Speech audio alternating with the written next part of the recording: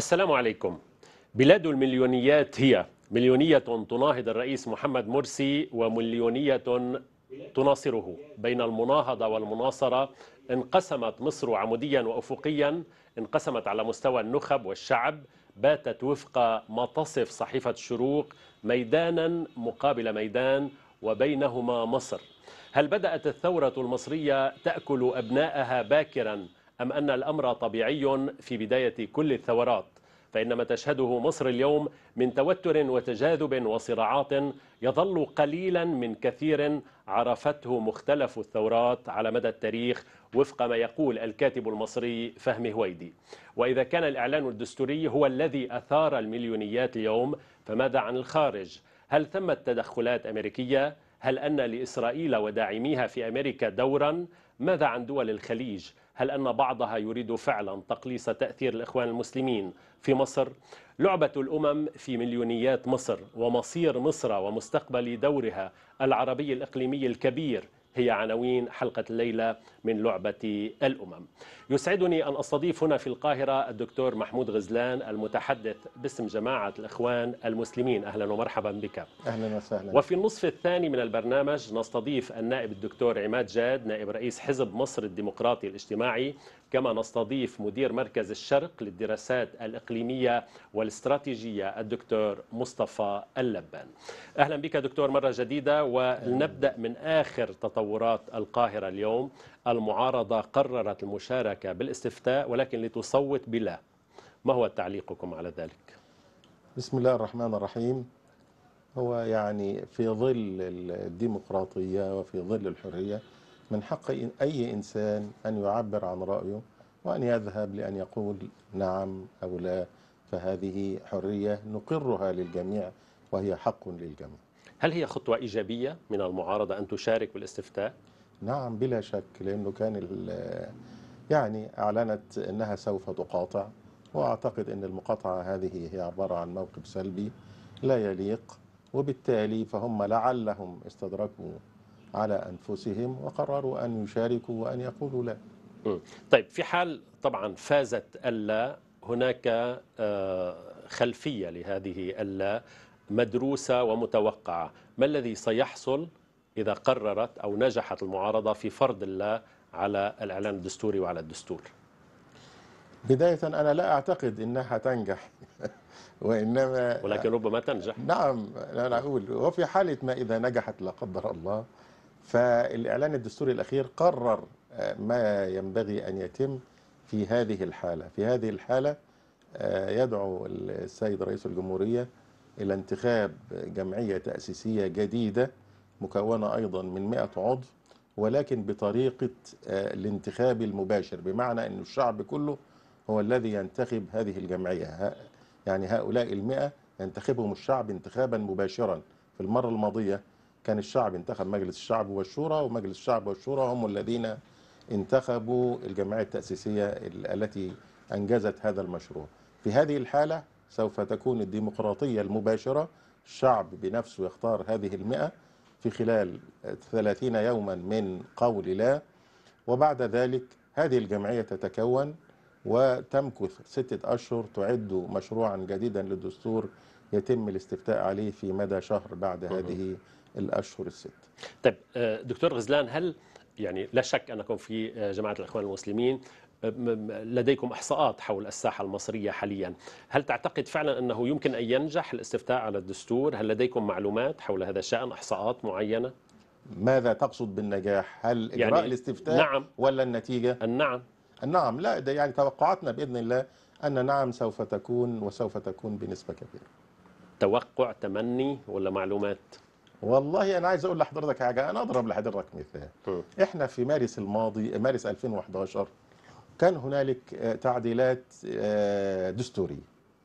وكان ساعتها المجلس الأعلى للقوات المسلحة هو الذي يحكم. وشكل لجنة لتعد... لوضع آه، تعديلات دستورية يسير عليها في الفترة الانتقالية ثم طرحها للاستفتاء. الذين يقولون لا الآن كانوا وقتها يقولون لا وشنوا حملة كبيرة إعلامية وصرفوا يعني مبالغ طائلة آه، يدعون الناس أن يقولوا لا وفي عشية ال- ال- الاستفتاء ظهرت على وسائل الإعلام الخاصة أو المملوكة لهم ما يقول أنه الشعب غدا سوف يقول لا بنسبة 90% وأجري الاستفتاء وظهرت النتيجة بأن 77.2 من عشرة قالوا نعم. ومن يومها يعني آه، أعتقد أنه هذا اليوم كان يوم فاصل الحقيقة ما بين الفريقين ولعله وسع الفجوة كبي- كثي يعني كثيرا ما بين الفريقين اللي كانوا مجتمعين أثناء ثورة 25 يناير على كل حال تغير الكثير في, نعم، لا في شك. مصر والآن لا شك يعني لا شك جماعة الإخوان وأيضا الرئيس نعم. تواجهون آه، معارضة آه، نعم، نعم. لا بأس بها كبيرة نعم. تتحدث عن المجلس الأعلى للقوات المسلحة تقول حين كان آه، يحكم اليوم دعا المجلس أطراف أطياف المجتمع المصري ثم ألغى الدعوة أولا هل لا يزال يحكم المجلس الأعلى للقوات المسلحة؟ لا, لا هو ليس يعني لا وجود له هو الموجود يعني الآن. نتحدث عن القيادة العسكرية وليس المجلس كمجلس. نعم. هو الذي حدث بالضبط. ويعني يعني آه، صاحبه يعني عمليات الحقيقة بلبلة شديدة. هو آه، إنه ال- الفريق السيسي وزير الدفاع اجتمع مع اللواء أحمد جمال الدين وزير الداخلية لبحث إجراءات تأمين عملية الاستفتاء. وفي نهاية هذا الاجتماع وبعد أن اتفقوا يعني عملوا مؤتمر صحفي وتكلم الفريق السيسي وفي النهاية دعا كل الأطياف إلى لقاء إنساني في إحدى بنايات أو إحدى مؤسسات المدنية لل... للجيش على حفل غداء. وقال بالنص لن نتكلم فيه في السياسة ولن نخوض في موضوع الاستفتاء ولكن لقاء إنساني بين كل أطراف المجتمع على حفل غداء ليس إلا الحقيقة وكالات الأنباء طيارته بمعاني آه، آه، سياسية. قالت أنه حوار سياسي وما إلى ذلك. وفي النهاية يعني ظللنا نبحث ونبحث ونبحث حتى حصلنا على نص آه، المؤتمر الصحفي. ويعني أنا سئلت في البداية أنا قلت إنه إنه أنا يعني ليس لدي معلومات دعوني أبحث. وحينما انتهيت إلى هذا قلت أولا إنه هنالك في مصر الآن حوار. يرعاه السيد الرئيس ويديره السيد نائب الرئيس. وهذا حوار سياسي. طيب ولكن طبعا الإشكال الذي حصل يعني تعرف حين نقول إنه اجتماع في مصر الآن بدون الحديث عن سياسة يعني أمر آه، صعب التصديق مباشرة آه، خصوصا إنه مصر بعد إطاحة الرئيس حسني مبارك في الواقع يعني من يشاهد القنوات المصرية الصحف المصرية الجدل القائم حاليا يشعر فعلا بمناخ تغير تماما. يعني أنا كنت أشاهد التلفزات منذ الصباح يعني نقاش في كل شيء. في الرئيس في صلاحيات الرئيس في الحكومة آه، مع الإخوان ضد الإخوان ضد المعارضة مع المعارضة. يعني الآن فتحت مصر على نقاش واسع لم يعد شيئا ممنوعا يبدو. هكذا. ولكن السؤال البلبلة التي آه، أحدثت اليوم أنه هل كان الرئيس على علم حين أعلنت قيادة الجيش هذه الدعوة للأطراف المصرية؟ بدا الأمر وكأنه لا لم يكن على علم ثم علم فيما بعد ودعي وأصبح الاجتماع برعايته. هذا الذي أحدث البلبلة يعني هل استشير الرئيس خصوصا أنه القائد الأعلى للقوات المسلحة بهكذا اجتماع قبل؟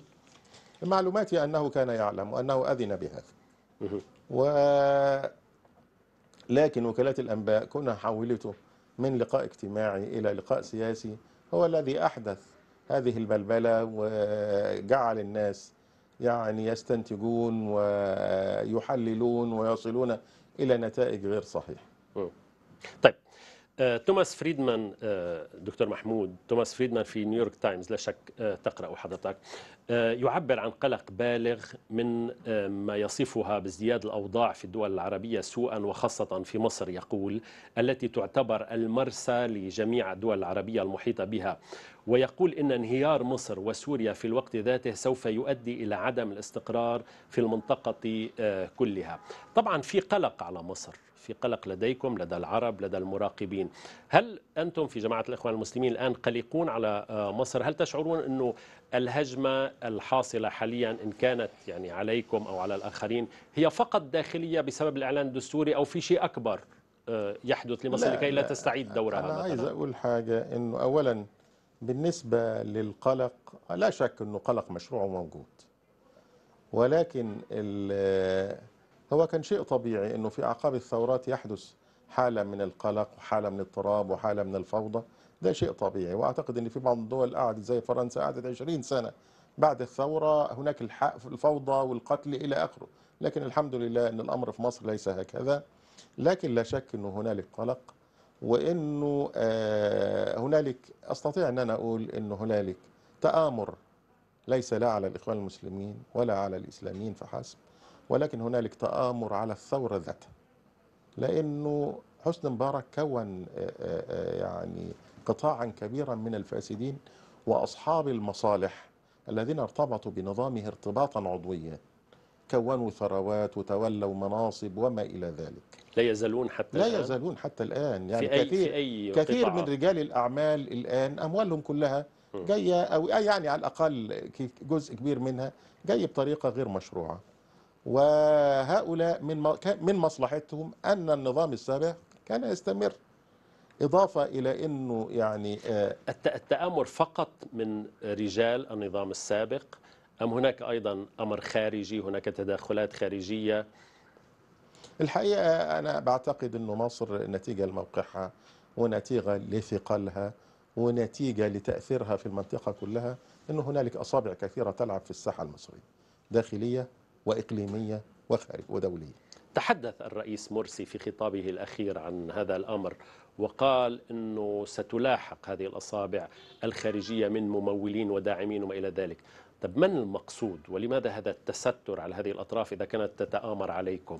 لا هو الحقيقة القضية ليست قضية تستر بقدر ما هي يعني في اعتقادي أنه لازم اللي, اللي يطرحها هو النائب العام. يعني هذه الأدلة لا يصح لي أن أنا وخ... يعني أنا عايز أقول لحضرتك حاجة بالأمس وهو بالأمس فقط وعلى طائرة جاية من دبي. زيورخ دبي مصر. كان عليها اثنين من المضيفات واحدة معاها 15 مليون دولار واحدة معاها 10 مليون دولار. مضيفة. طيب يعني وجايين من دبي. لابد إنه الج- ال- الجهات الرقابية تسأل. آه دخلوا بطريقة رسمية سجلوا هذا هذه المبالغ وفق القانون. في في في المطار.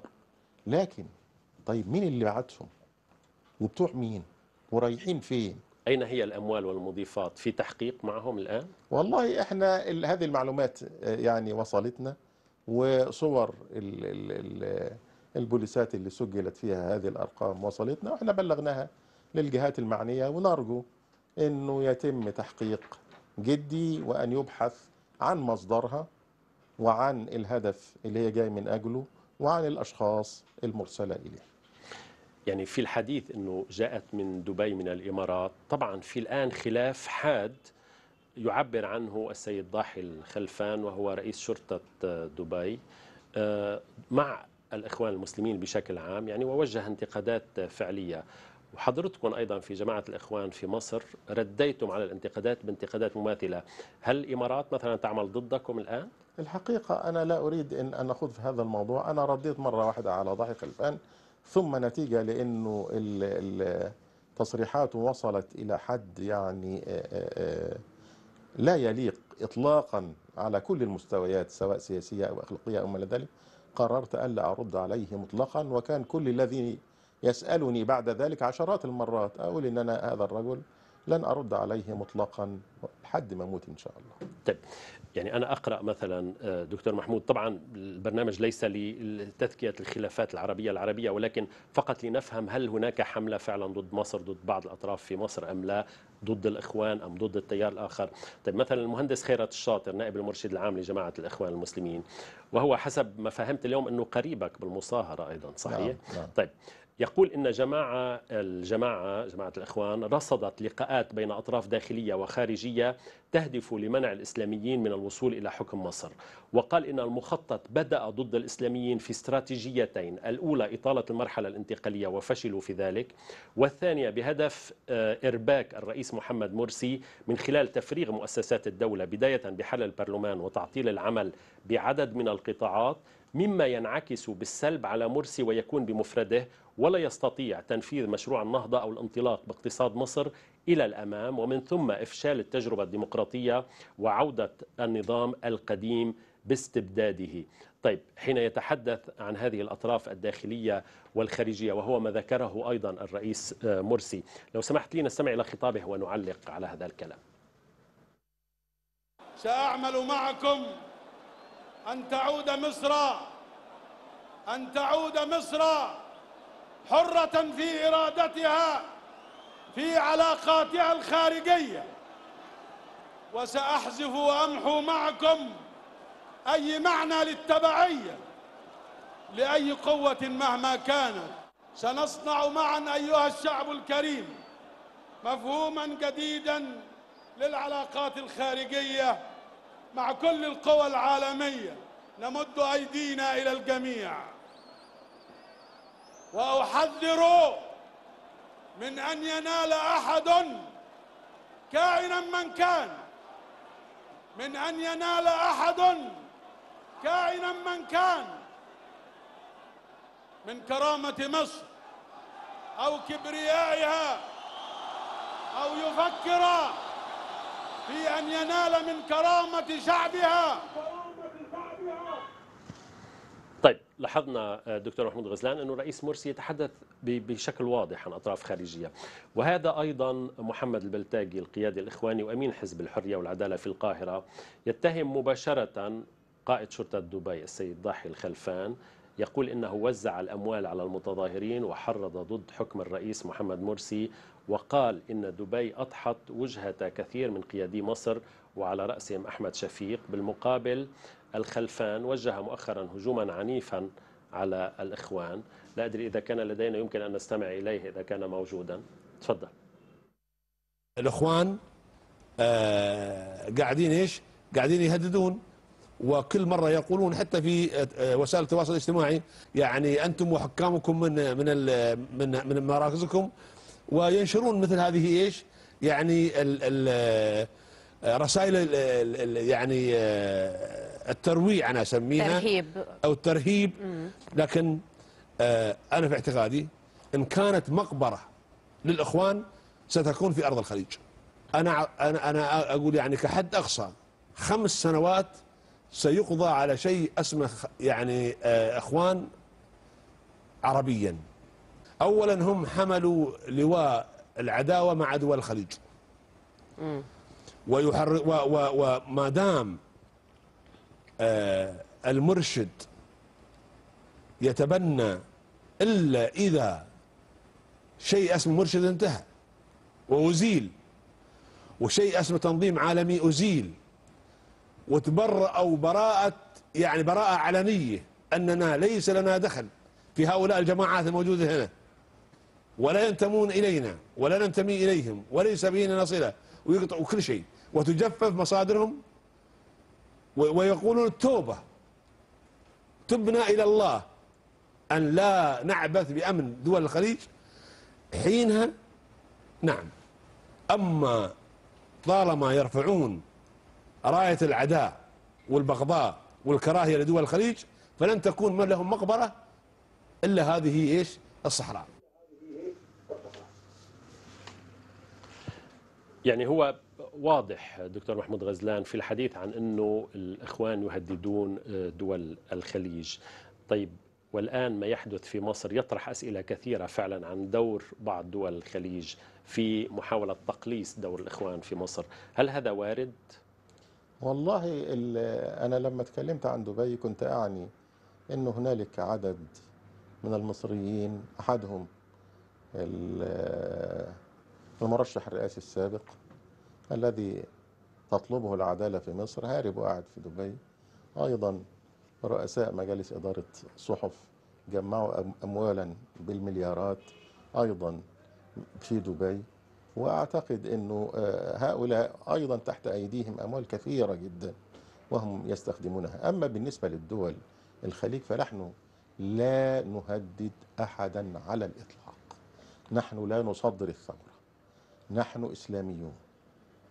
نعم ولكننا أيضا عروبيون وعروبيتنا تقتضي منا أن نحرص على أن تكون العلاقات بيننا وبين كل الدول العربية بما فيها دول الخليج علاقات حسنة وعلاقات أخوة.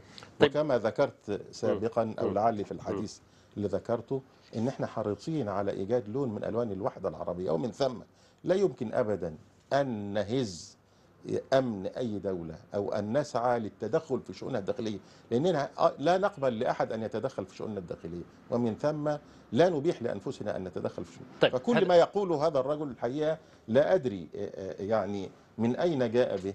الأمر التالي إن هو بيقول بعد خمس سنوات مش هيبقى في حاجة اسمها إخوان المسلمين. أقول له يعني ما عبد الناصر قعد بقالنا 80 سنة وحاول كثيرا مش إقصاء إفناء ولكن الحمد لله يعني آه، بقينا. بفضل الله عز وجل و ثم بتجذر هذه الدعوة في أعماق الشعب المصري وفي الأرض المصرية. ونحن بفضل الله باقون نحن لا نعتمد على أنفسنا بقدر ما نعتمد على الله سبحانه وتعالى. طيب ولكن دكتور محمود غزلان لا شك انه حديث السيد خلفان ليس حديثا منفردا أو منعزلا. ولاحظنا في الآونة الأخيرة حين اشتد الضغط هنا آه، المواجهة أو المعارضة للرئيس مرسي أنه الكثير أيضا من الصحف في دول الخليج كانت يعني ترفع الصوت وتهاجم الدكتور مرسي وأيضا جماعة الإخوان المسلمين. يعني ولذلك أنا أطرح السؤال إنه هل هناك فعلا رغبة تعتقدون هنا في جماعة الإخوان خليجية في تخفيف دور الإخوان خصوصا إنه يتحدثون عن قلق عندهم مثلا؟ ما يعني من ماذا؟ الدكتور محمد أول ما تولى الرئاسة راح زار السعودية م. مرتين والعلاقات ويسعى تماما إلى توطيد هذه العلاقات. وأيضا استقبل عندنا آه، آه، حاكم آه، قطر أو أمير قطر وعلى استعداد أنه يستقبل الآخرين. وأنا أذكر أن أنا يعني سئلت ذات مرة فقلت أنه إحنا كإخوان مسلمين بعد الانتخابات البرلمانية هذه زرنا في مقرنا كل سفراء دول العالم. بل في بعض الأحايين كان بيجي وزراء الخارجية الذين لم يأتوا فقط هم إخواننا في الخليج وقلت لهم. إلا السفير الإسرائيلي طبعا. نعم طبعا. ده أمر استثناء. لكن ال- ال- قلت لإخواننا يعني كل الناس أتونا ما عدا أنتم. وإذا كنتم لا تريدون أن تأتوا فادعونا ونحن على استعداد أن نذهب إليكم في آخر الدنيا. في آخر الدنيا لأننا حريصون على العلاقات الأخوية بيننا وبين الجميع. طيب دعني أسألك سؤالا أخيرا عن هذه المسألة. هل تضعون السعودية والكويت والإمارات وقطر في خانة واحدة في التعامل مع الإخوان المسلمين؟ لا لا أعتقد. لا لا. قطر معكم؟ لا والله يعني إيه، ما تقدرش تقول إنها معنا لكن الحقيقة موقفها إيه، إلى حد كبير موقف مشرف. يعني بتتعاون بطريقة أخوية بالفعل. إحنا الآن كمصر خارجين من من ثورة وخارجين من نظام جرف البلاد وخربها ونحن الآن محتاجون إلى من يساعدنا. لا ينبغي أن يتركونا نذهب إلى صندوق النقد الدولي وهم عندهم أموال. فليقرضونا هم بدلا من صندوق النقد الدولي مثلا. وبعدين آه، يعني ال ال بالمناسبة أنت كنت من أكثر المتشددين والرافضين لقرض صندوق النقد ولا الدولي زلت حتى الآن لا زلت حتى الآن حتى لو. قبلت جماعة لا والرئيس أنا عايز أقول لحضرتك م. حاجة ما هو يعني. في حاجة اسمها نظرية الضرورة م. في الشريعة وفي القانون م. وهناك م- يعني قواعد شرعية بتقول الضرورات تبيح المحظورات لكن الضرورة تقدر بقدرها بمعنى ان أنا لو وجدت واحد هيموت من الجوع وقدامه ميتة أنا مش هأنكر عليه إنه بياكلها لكن إلى متى؟ لحد ما ما يعني آه، يستطيع إن هو يوجد لنفسه آه، يعني طعام حلال. وبالتالي في هذه الحالة آه، عيب. ولذلك حينما نكون إحنا في مثل هذه الظروف. طيب سألت سؤالا وجيها دكتور. تقول يعني لماذا هذه الدول لا تعطينا أو تقرضنا بدلا أن نقترض من صندوق النقد الدولي والذي يفرض في الواقع رفعا للضرائب حكما ستفرض عاجلا أم آجلا هنا؟ طب لماذا أنا أسألك؟ لماذا هذه الدول لا تقرضكم؟ والله اسألها هي. اسألها هي أنا ما أعرفش. لا يعني أنا أنا شايف إنه إحنا ك كمصر الحقيقة كان آه، أنا عايز يعني أنا لا أمن على أحد. وفي ذات الوقت أقر بجميل أي إنسان اسدى إلينا جميلا بمعنى إنه مصر كان لها دور كبير في نهضة هذه الدول وإنه المصريين الحقيقة أقاموا نهضة هذه الدول أو شاركوا في نهضة بالمدرسين والأطباء والمهندسين إلى آخر هذه الأمور. نعم كانوا يستفيدون لكن لا شك إنهم كانوا امن الناس من إنهم يجيبوا ناس من بنجلاديش ولا من الفلبين أو ما إلى ذلك. ولكن مصر نشرت فكر الإخوان أيضا. نعم. هذا ولكن لا مصر نشرت لا. فكر الإخوان لا. أيضا. في داخل السعوديين كأشخاص لا. ده, ده ده الأمر الأول. الأمر الثاني إحنا أنا هو برضو من ضمن الكلام اللي أنا قلته إن إحنا يعني أهل وفاء. وإحنا لا ننكر إنه في سنة 54 خرج عدد من قادتنا يعني هربا من البطش الناصري ولم يجدوا احدا يستقبلهم إلا السعودية والخليج والكويت وقطر. ويعني اتاحوا لهم فرص العمل والعيش والأمن. ومن ثم فإحنا بنحفظ. ولكن شرط هذا عدم الجميل. ولكن شرط عدم نشر ال- خلاص ونحن لم ننشر. طيب. ف- ده- طيب. فهذا الجميل إحنا نحفظه. ولذلك أنا بقول الآن إنه يستحيل وإحنا أهل وفاء إن إحنا كما يدعي ال- ال- ال- السيد خلفان إن إحنا نسعى إلى زعزعة استقرار أي بلد أو تدخل في شؤونه أو إقلاق امن أو ما كل الكلام ده عبارة عن أوهام في في ذهن طيب بالمناسبة أشكر التلفزيون الذي أخذنا منه هذا المقطع للسيد ضاحي الخلفان. طيب هنا في الداخل السيد فهمي هويدي كاتب كبير وهو يعني بتفكيره ليس بعيدا عن الفكر الإسلامي الذي آه، تنشدونه. يقول إن الإخوان نجحوا في قيادة وتنظيم الجماعة لكنهم لم ينجحوا في قيادة سفينة الوطن ولم يدركوا أن مصر أكبر أكبر منهم وأن الرئيس مرسي خاطب رواد المساجد أكثر مما خاطب جموع الشعب المصري. وحين تحدث إلى الجموع فإن خطابه لم يكن بالشفافية المرجوة. يبدو الأمر وكأنه علقت أمال كثيرة على الإخوان. والآن هناك ردود فعل حتى من المقربين منكم في استقالة ست مستشارين للرئيس. يعني الوضع ليس سهلا. سنناقش ذلك لو سمحت بعد الفاصل. موجز ونعود.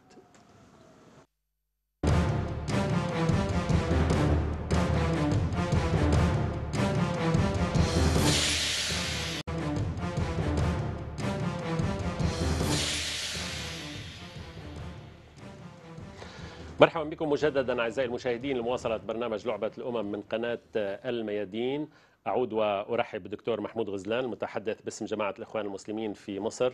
مرحبا مجددا. وأرحب الآن بضيفي الثاني الدكتور عماد جاد نائب رئيس حزب مصر الديمقراطي الاجتماعي وهو ربما تعرفونه سابقا كاتب وباحث كبير في مركز الأهرام ومتخصص خصوصا في الشؤون الإسرائيلية. وأستضيف من بيروت وفي زيارة لبيروت الآن مدير مركز الشرق للدراسات الإقليمية والاستراتيجية الدكتور مصطفى اللبان. أهلا ومرحبا بكم جميعا.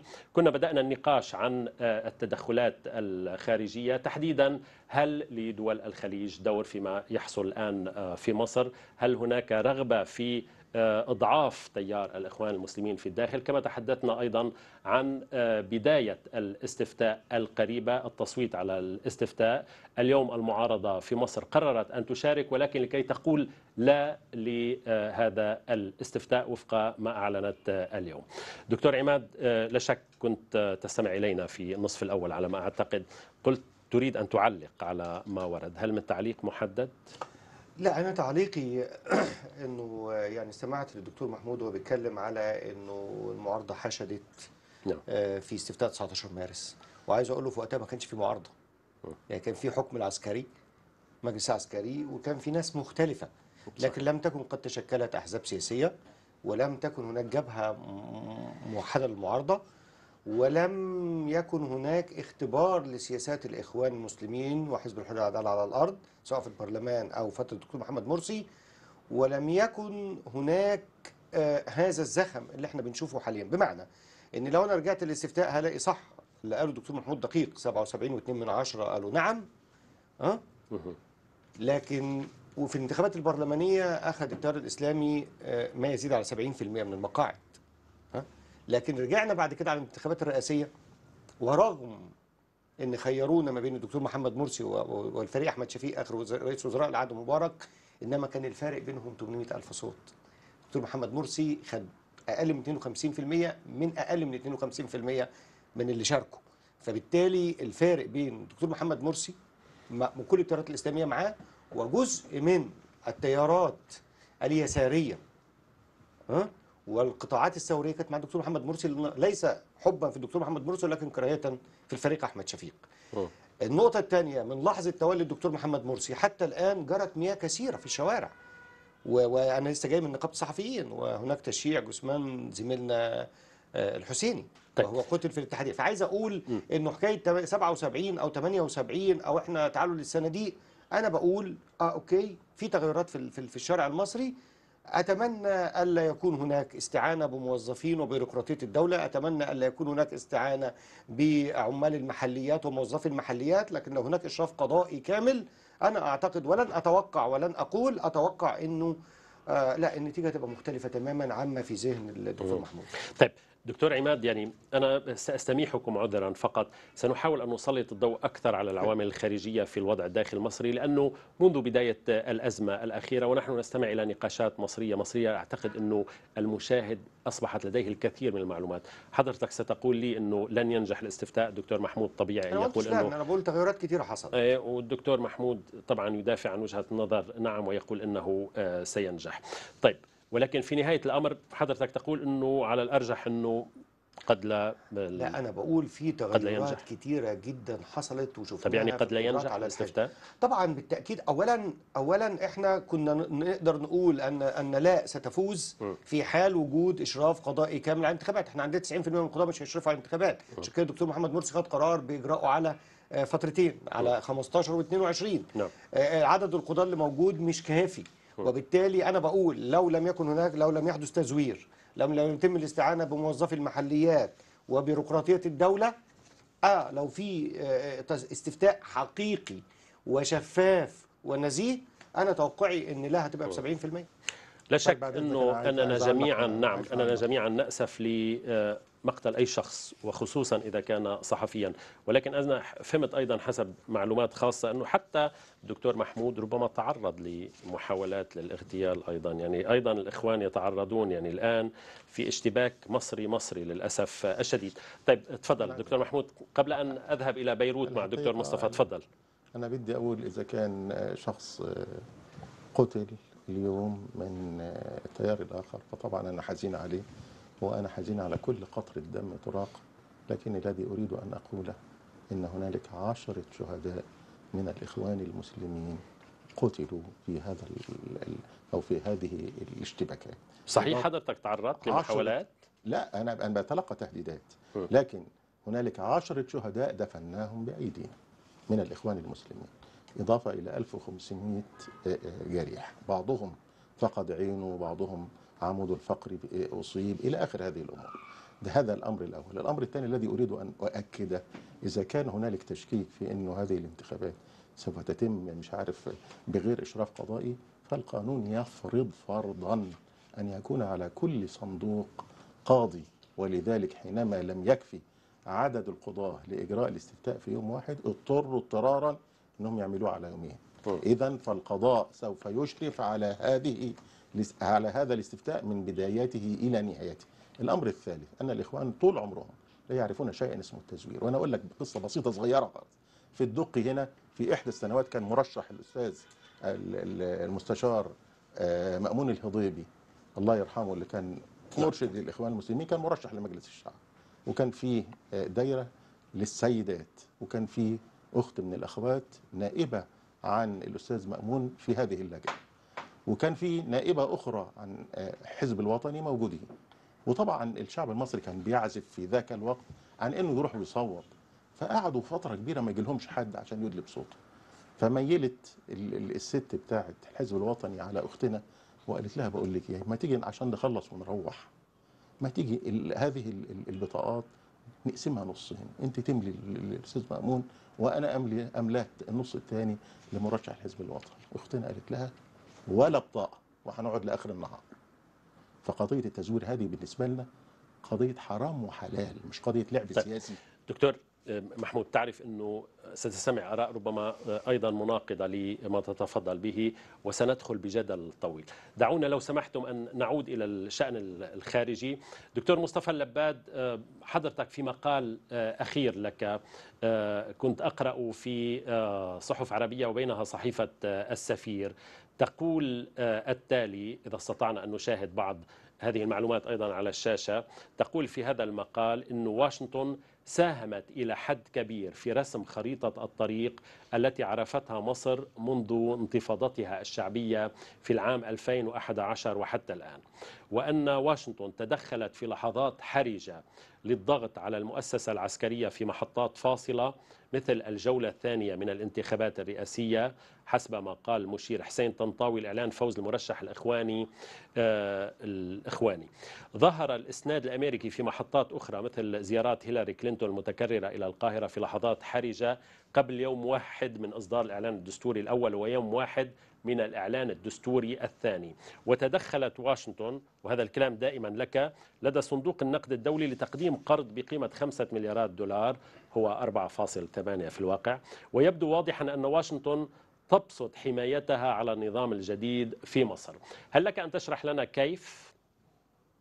الواقع إنه كما تفضل ضيفك الدكتور محمود غزلان مصر بلد جوهري ومؤثر في توازنات المنطقة ومصر كانت متحالفة وما زالت.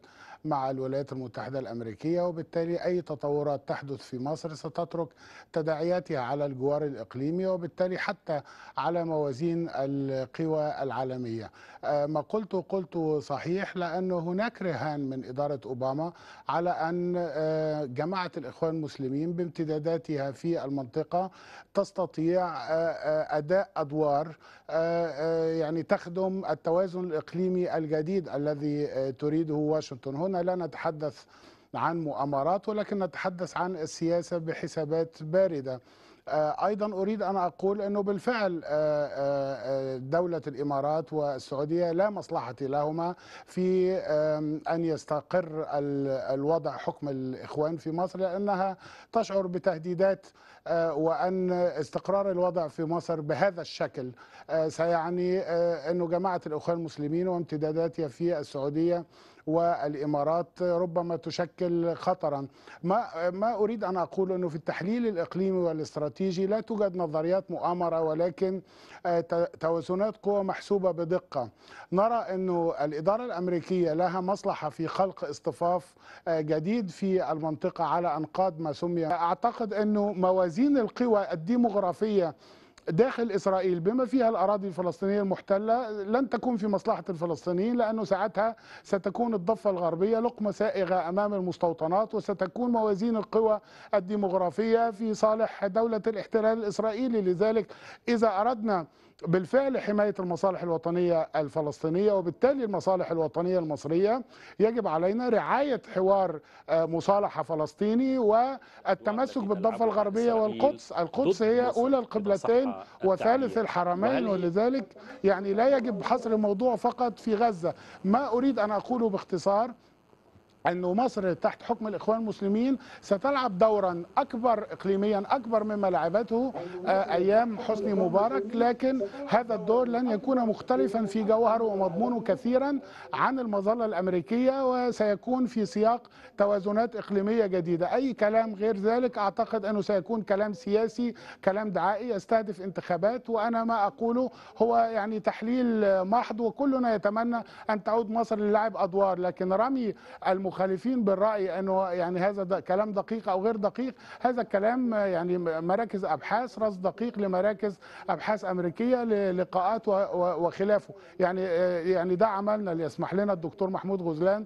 شغلة الباحثين شغلتنا أكيد هو متخصص في في شيء آخر وبالتالي يعني القول إنه هذا الكلام غير دقيق أعتقد إنه يعني في غير محله ربما كان تعبيرا غير موفق هذا الكلام غير دقيق أعتقد إنه يعني في غير محله ربما كان تعبيرا غير موفق طيب آه شكرا دكتور مصطفى. يعني أنا كنت سألتك سؤال وعلى ما يبدو إنه في مشكلة بوصول الصوت سأكرره ولكن هنا في الاستوديو. في موقع إسرائيلي اسمه ذا ماركر هل هو موقع مهم دكتور عماد؟ خصوصا إنك أنت متخصص من المواقع من المواقع الإلكترونية المعروفة. طيب كويس. يقول هذا الموقع وهو موقع اقتصادي إسرائيلي أن قطر تقوم بتمويل جماعة الإخوان المسلمين في مصر من إيرادات احتياطيها أو احتياطها من الغاز الطبيعي في الوقت الذي تعمل فيه جاراتها من دول الخليج ضد الجماعة.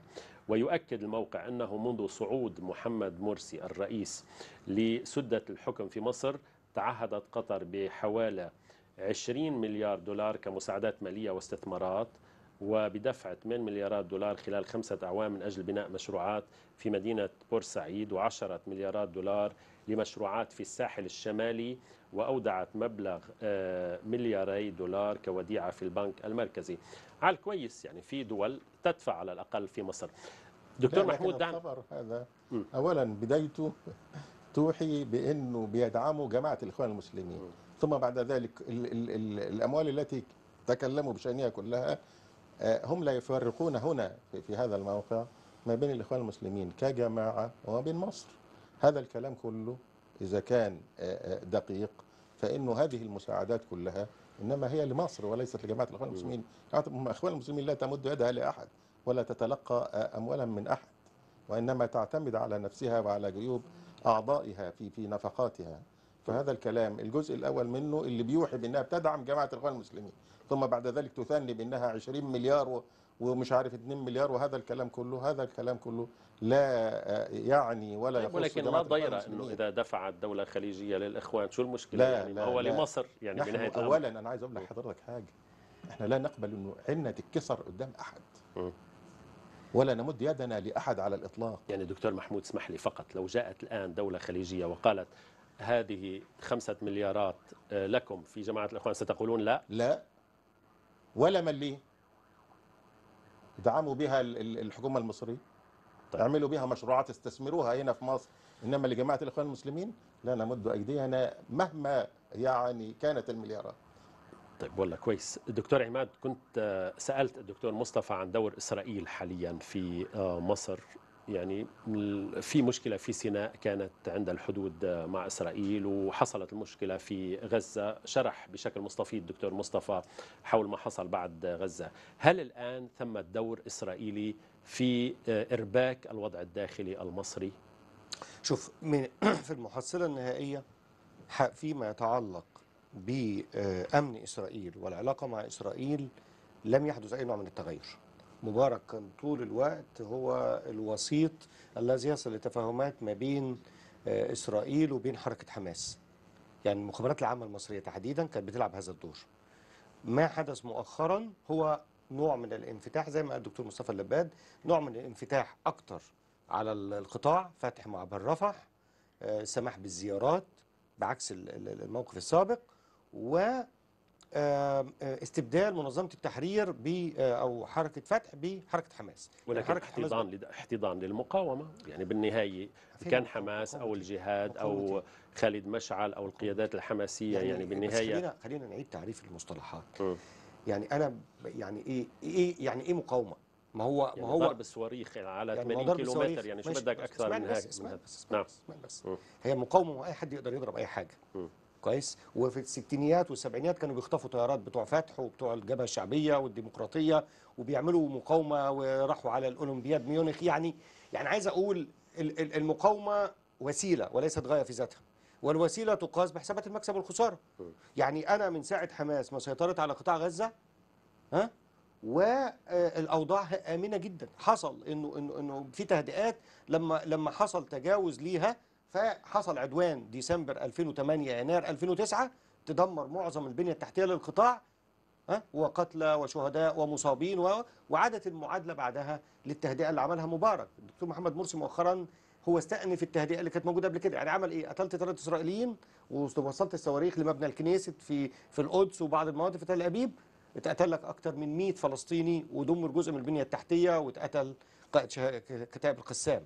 فعايز أقول ورجعنا للتهدئة اللي هي للمربع الأول. يعني ما حصلش تحرر ما حصلش تحرير الأرض ما حصلش استئناف المفاوضات بشروط بدون شروط مسبقة. في الحقيقة الإنجاز اللي عمله اتعملته منظمه منظمه تحرير السلطه الوطنية لما خدت مقعد غير دائم أو غير عضو في ال- الجمعيه العامة للأمم المتحدة. فعايز أقول إنه ال- ال- الإسرائيليين النهارده طبعا آه، المشهد مربك ليهم. بالتأكيد وجود حكم برئاسة الإخوان مش مريح ليهم.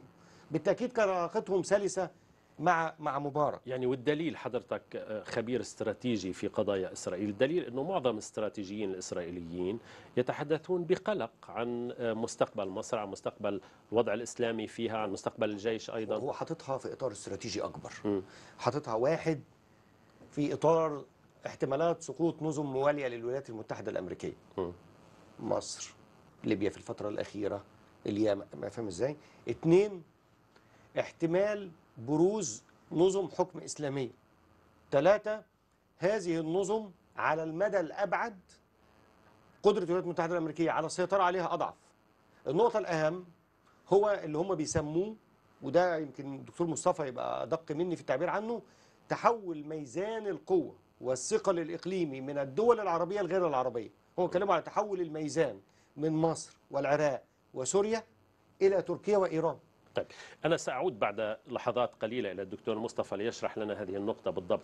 دكتور محمود يعني إن كان الآن في مصر في كلام الدكتور عماد أو الدكتور مصطفى أو في بعض الدول العربية آه، في آه، نوع من الأسئلة الجوهرية حول خطاب الإخوان المسلمين حيال آه، إسرائيل.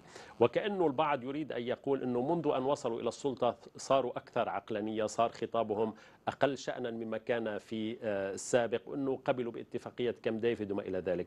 طب الآن حصلت معركة آه، غزة يعني شاهدنا احتضانا مصريا فعليا لحماس وأيضا لإنهاء الصراع في أسرع ما يمكن.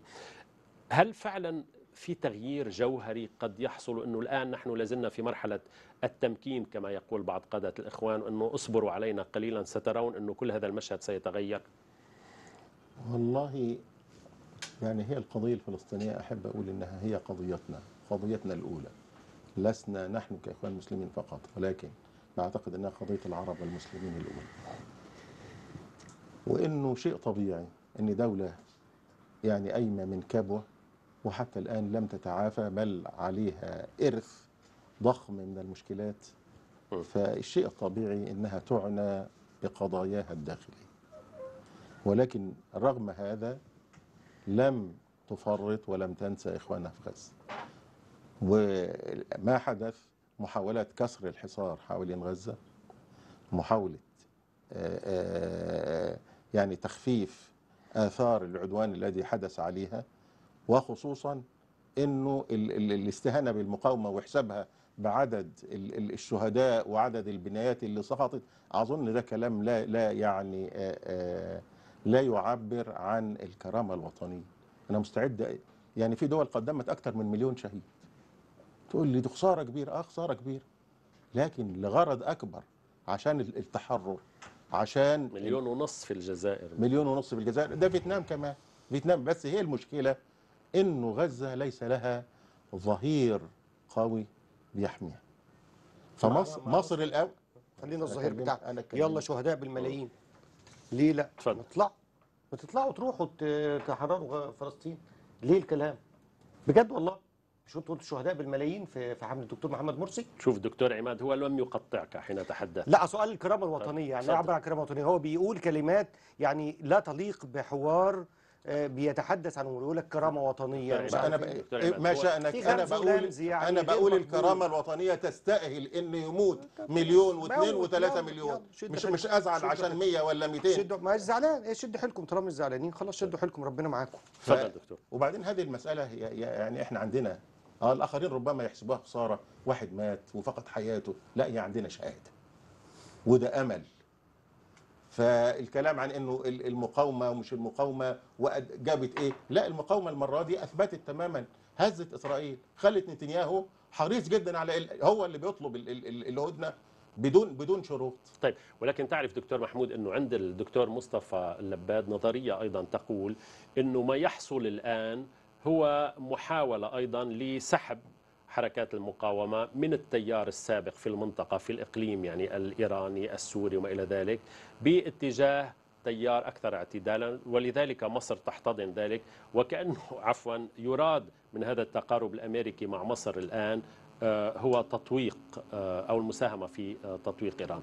طيب نحن ابتعدنا دكتور مصطفى قليلا عن الوضع الداخلي الآن في مصر والتأثيرات الخارجية، ولكن هل لهذه لهذا الصراع الإقليمي الإقليمي الدولي الإقليمي الدولي الدولي أيضا تأثير على الداخل المصري في إرباك الساحة المصرية، في إرباك الحكم في مصر الآن؟ أعتقد أنه تأثير متبادل مثلما تؤثر مصر في جوارها أيضا جوارها يؤثر في مصر وكلنا يرى أن تركيا مثلا كانت في أول المرحبين بالثورات العربية وحتى يعني دعم غير مسبوق لجماعة الإخوان المسلمين وقعت اتفاق توأمة حزب الحرية والعدالة في مصر والعدالة والتنمية حتى قبل انتخابات البرلمان التي فاز بها حزب الحرية والعدالة بكتلة كبيرة تركيا حزب الحاكم وقع اتفاق آه، توأمة وأيضا التعاون الاقتصادي بين البلدين يمشي آه، بوتيرة سريعة لكن مع استبدال وهنا المآخذ آه، على آه، هذا النمط من السياسة الخارجية مع استبدال رجال الأعمال القريبين من النظام السابق أحمد عز وخلافه برجال أعمال قريبين من جماعة الإخوان المسلمين مثل الأستاذ حسن مالك والأستاذ عصام الحداد. اللي هو مستشار الرئيس هو في جمعية آه، ابدأ وهذه الجمعية هي معنية بالتعاون الاقتصادي المصري التركي. وأنا هنا أحب أن أقول أنه حتى المساعدات الخليجية لا يقول أحد أنها تذهب إلى الجماعة لكن الاقتصاد يمثل تحدي كبير أمام أي نظام حاكم سيأتي في مصر كان من جماعة الإخوان أو من خارج جماعة الإخوان. وبالتالي دعم الاقتصاد المصري هو دعم سياسي للجهة الحاكمة وهي هنا جماعة الإخوان المسلمين ويعني أيضا استطراد أستاذ سامي إدارة أوباما في رهانها على الإخوان لا تسلمها كل الأوراق. من المعلوم أن الاقتصاد المصري في حالة حرجة الآن. مصر ستحتاج إلى آه، قروض من صندوق النقد الدولي. الولايات المتحدة الأمريكية لها النصيب الأكبر في آه، إدارة الصندوق ولها أيضا إمكانات آه، لمساعدة اقتصادية. ولذلك تحتفظ بهذه الورقة. لها علاقات أيضا مع المؤسسة العسكرية في مصر منذ منتصف السبعينات ولها أيضا علاقات متنوعة آه، داخل مصر وبالتالي هي تستطيع الموازنة وأيضا هي العباءة التي تتغطى بها تركيا وقطر في نفس الوقت. لذلك هذه الثلاث أوراق آه، ربما تعتقد إدارة أوباما أنها تستطيع كبح آه، أي سياسة تخرج عن ال- الإطار المرسوم. لذلك ال- الإقليم يتحرك تركيا وإيران زي ما قال الدكتور عماد أصبح لهما أدوار في السنوات العشر الأخيرة. تركيا بالتحديد في السنوات الخمسة الأخيرة ولا تستطيع أن تلعب آه، دورا إقليميا دون مساندة من آه، مساندة عربية ل- لنقل ومصر هي الدولة العربية الأكبر وفي حال آه، قدمت مصر مصر هذه المساندة تستطيع تركيا أن تلعب أدوار اللافت هنا حتى عمليا وحركيا نزع الإطار العروبي عن الإقليم وعن النظام الإقليمي العربي والصاق صفة الإسلامي فقط بهذه المنطقة يسمح للقوى الإسلامية غير العربية بلعب أدوار إقليمية لأنه طالما عرفنا المنطقة باعتبارها آه، منطقة عربية سيصعب على الأطراف غير العربية أن تلعب أدوار إقليمية قائدة. لذلك آه، آه، إعادة تعريف النظام الإقليمي العربي إلى نظام إقليمي إسلامي بقيادة جماعة الإخوان المسلمين في جزء كبير منه يخدم مصالح تركيا بالطبع وهذا هو سر دعم تركيا لجماعة الإخوان المسلمين. آه، أيضا قطر التي تريد أن تلعب دور العراب. لذلك المصالح الإقليمية هنا واضحة. ليس لأن آه، قطر مقتنعة مثلا بأيديولوجية الإخوان لكن لها مصالح ولها طموحات أن تلعب دور كبير في المنطقة لأن لها آه، ورقة الاقتصاد وتستطيع أن تحدد بها سير العمليات في الإقليم.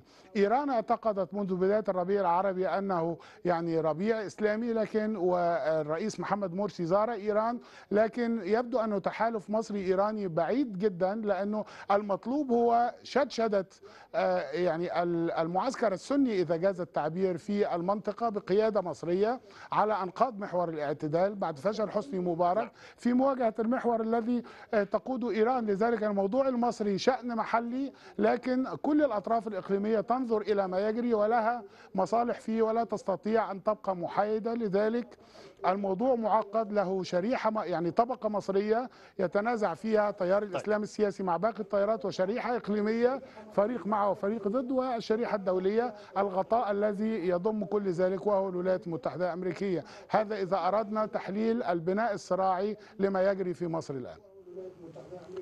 طيب في ال... نعم.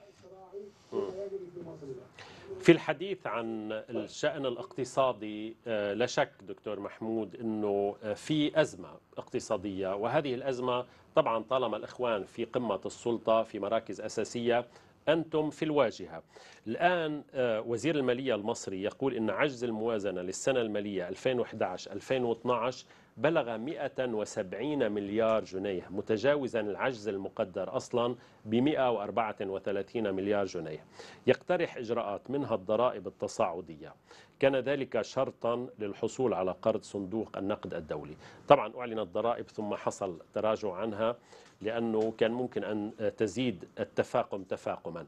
ونقرأ مثلا في بعض التحليلات منها للكاتب غالب أبو مصلح في صحيفة السفير في لبنان إن معالجة الوضع الاقتصادي تحتاج إلى تدفقات مالية خارجية كبيرة جدا ومكلفة على الصعيدين المالي والسياسي وطريق التمويل الخارجي يمر حكما بموافقة أمريكية مشروطة ما يعني أن أمريكا بنهاية الأمر ستتحكم بالقرار السياسي المصري.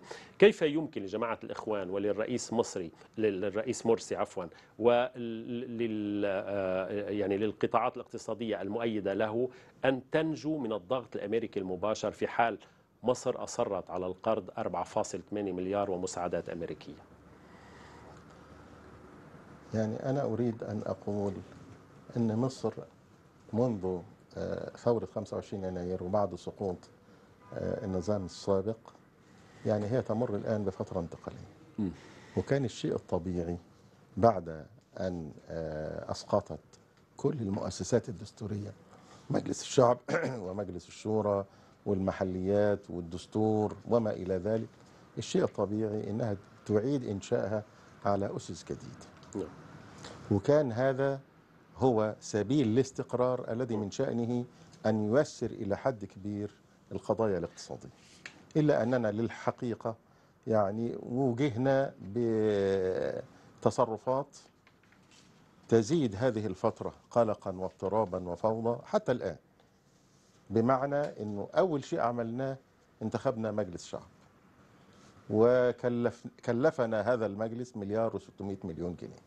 ذهب للانتخاب فيه حوالي 33 مليون آه، مواطن مصري لأول مرة في تاريخ مصر. أيضا استغرق جهدا ووقتا طويلا في هذه الانتخابات وكانت هذه هي المؤسسة التشريعية والرقابية. بعد ذلك انتخب أيضا مجلس الشورى وبعد ذلك ذهبنا إلى الانتخابات الرئاسية طيب باختصار لأنه انتهى الوقت للأسف الشديد يعني يعني قادرون أنا على اللي عايز النجاة عايز اللي عايز. أقوله إيه؟ إنه الخروج من هذه ال- ال- المشكلة أو يعني على الأقل تخفيف حدتها مبني على الاستقرار المبني على إنشاء المؤسسات الدستورية والتي تتمثل اولا انتخبنا رئيس جمهورية عندنا مجلس شورى صلاحياته قليلة ال- الأصل بعد ذلك إن إحنا نعتمد دستور وبعده بشهرين ننتخب برلمان جديد وبالتالي تكون كل المؤسسات الدستورية موجودة التي من شأنها أن تحقق نوعا من الاستقرار لأنه المستثمرين. طيب. والمانحين لا يمكن ابدا أن يأتوا في في ظل دولة شكرا يعني جزيلا. بهذا. الشكل. دكتور محمود غزلان المتحدث من جماعة الإخوان المسلمين. كنت أود أن نستمع إليك ولكن انتهى الوقت دكتور عماد للأسف الشديد. دكتور عماد جاد نائب رئيس حزب مصر الديمقراطي الاجتماعي. أشكر أيضا الدكتور مصطفى اللباد مدير مركز الشرق للدراسات الإقليمية والاستراتيجية. أشكر كل من أشرف على هذا البرنامج إن كان هنا في القاهرة أو في بيروت. وإلى اللقاء في حلقة مقبلة من لعبة الأمم عبر قناة الميادين. شكرا جزيلا لكم جميعا لمن يود الكتابة للبرنامج عنواننا الإلكتروني أمم آت الميادين دوت نت وإلى اللقاء. شكرا لكم.